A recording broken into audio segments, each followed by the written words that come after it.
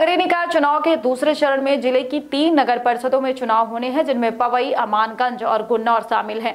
शुक्रवार देर शाम भारतीय जनता पार्टी के प्रदेश अध्यक्ष एवं क्षेत्रीय खजुराहो लोकसभा सांसद विष्णु दत्त शर्मा पवई पहुँचे। उन्होंने रोड शो और आम सभा कर वार्ड पार्षद प्रत्याशियों के समर्थन में जनता से वोट मांगे। इसके बाद उन्होंने गुन्नौर एवं अमानगंज में भी आम सभा की। आपको बता दें कि पन्ना ज़िले की अमानगंज, पवई एवं गुन्नौर नगर परिषद में तेरह जुलाई को मतदान होने हैं। भाजपा, कांग्रेस, अन्य पार्टियों व निर्दलीय उम्मीदवार इन दिनों ज़ोर शोर से प्रचार प्रसार में लगे हुए हैं। तीन नगर परिषदों के पंद्रह पंद्रह पार्षदों के लिए चुनाव होने हैं। वहीं सभा में बीजेपी प्रदेश अध्यक्ष बी डी शर्मा ने कहा कि क्षेत्र के विकास के लिए वार्ड का पार्षद प्रथम कड़ी होता है और ऐसे केंद्र की सरकार, राज्य सरकार की योजनाओं को घर घर पहुँचाने के लिए भाजपा की परिषद बनाए। इस दौरान उन्होंने प्रदेश में पंद्रह महीने की कांग्रेस सरकार के शासनकाल को कुशासन बताया।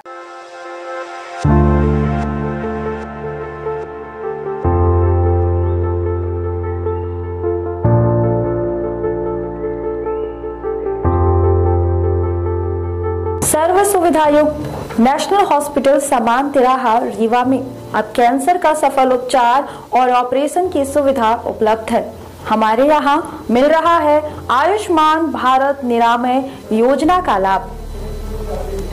आयुष्मान जन आरोग्य योजना के तहत सभी प्रकार के मेडिक्लेम की सुविधा उपलब्ध है।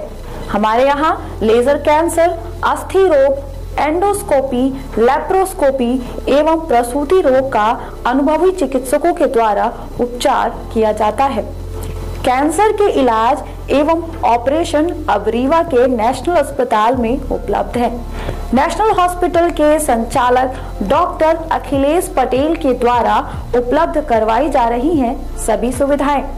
आयुष्मान से संबंधित किसी भी प्रकार की जानकारी के लिए संपर्क करें। मोबाइल नंबर नौ छ नौ एक दो आठ आठ पाँच छ शून्य पर या फिर संपर्क करें सात पाँच छ छ आठ तीन एक पाँच पाँच एक पर।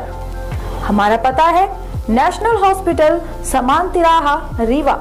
संपर्क करें शून्य सात छ छ दो तीन पाँच नौ नौ सात चार पर या फिर संपर्क करें आठ छः शून्य दो आठ आठ पाँच नौ नौ शून्य पर।